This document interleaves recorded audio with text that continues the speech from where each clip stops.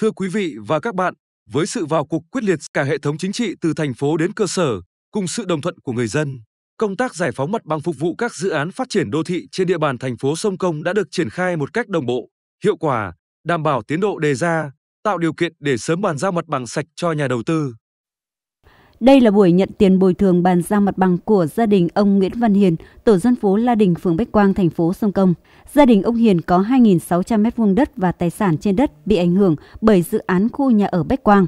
Sau khi được tuyên truyền vận động về ý nghĩa và tầm quan trọng của dự án trong phát triển không gian đô thị của thành phố, gia đình ông Hiền đã đồng thuận nhận bồi thường và đất tái định cư sớm.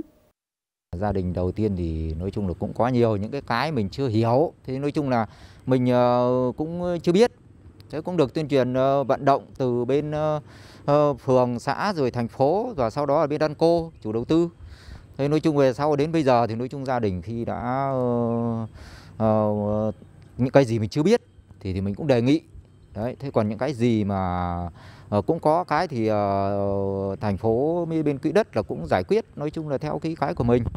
Đấy thì cũng ờ, mọi công việc. Đấy thì nói chung là cũng theo ý muốn của gia đình. Đấy nguyện vọng của gia đình đấy. Mà đúng ra nó cái này thì gia đình cũng chả có một cái gì để mà mà mà, mà thắc mắc. Thế thì sau cái, cái gia đình nói chung là cảm thấy nó hợp lý hài hòa thì đã mình đã chấp nhận chủ trương từ bước đầu.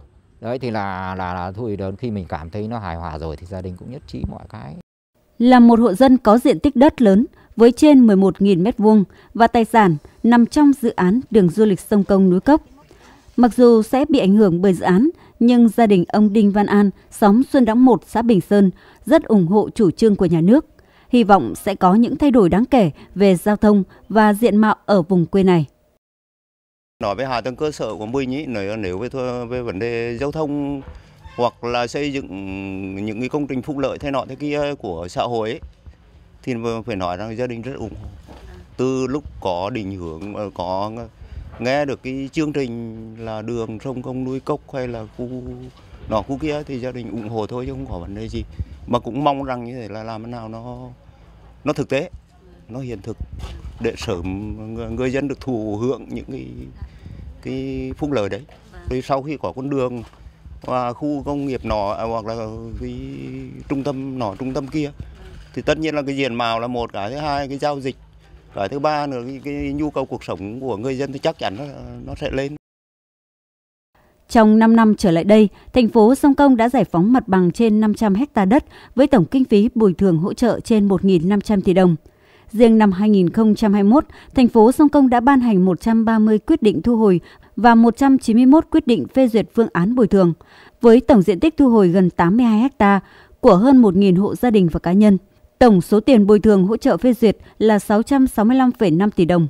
Trong quá trình triển khai dự án, nhiều hộ dân gửi đơn đề nghị thu hồi hết diện tích đất còn lại của gia đình và đề nghị được cắm đất tái định cư và được nhận tiền bồi thường trước khi có quyết định phê duyệt của cấp có thẩm quyền. Đây là kết quả tích cực từ sự quyết tâm, đồng lòng của cả hệ thống chính trị và sự đồng thuận của người dân thành phố. Trong đó có sự nỗ lực của các cơ quan chuyên môn để công tác giải phóng mặt bằng được đảm bảo đúng lộ trình. Về cơ bản thì trong những năm qua thì ờ, nhân dân đồng tình ủng hộ. Thế thì ngay ờ, từ những cái ờ, khi mà lập dự án ấy, thì cũng có một số dự án là nhân dân là chưa hiểu hết được cái tính chất của dự án. Đấy, nhất là các dự án khu dân khu dân cư, khu đô thị hoặc là các cái dự án mà phát triển giao thông. Nhiều dự án là nhân dân không không hiểu được tính chất. Cho nên có những dự án hiện nay là à, cơ bản là nhân dân cũng đa số là chưa đồng đồng thuận đồng tình ủng hộ để mà mà, mà phê duyệt cái quy hoạch chi tiết.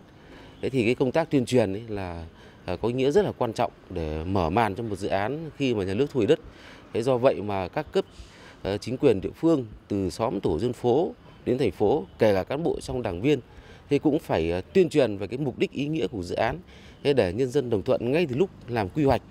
Thế và khi đã đồng thuận ngay từ lúc làm quy hoạch rồi thì ờ, nhà nước mới thực hiện thu hồi đất, bồi thường hỗ trợ giải phóng bằng được.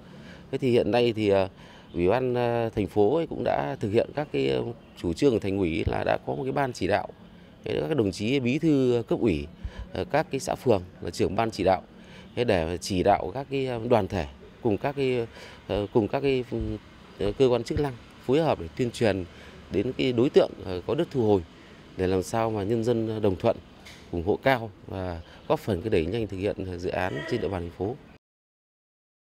Bên cạnh những thuận lợi, cũng còn một số khó khăn do một số hộ dân chưa hiểu hết về ý nghĩa và tầm quan trọng của dự án. Cấp ủy chính quyền địa phương đã kiên trì bền bỉ trong tuyên truyền vận động thuyết phục nên đã nhận được sự đồng thuận của các hộ dân.